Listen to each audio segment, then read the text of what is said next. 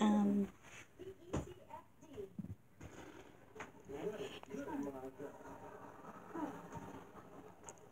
um, hi, I am Elizabeth.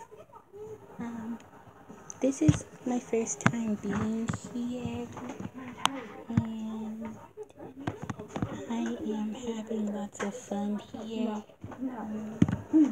Apparently, there's some humans here, so I got I gotta move the camera a bunch of times, but I'm having lots of fun, and it's like 1 o'clock right now, and I'm trying to whisper because half of my neighbors are asleep. So, um, I'm making this video to update you guys on the animation of this channel. We will be making animations next year, so, um, yeah.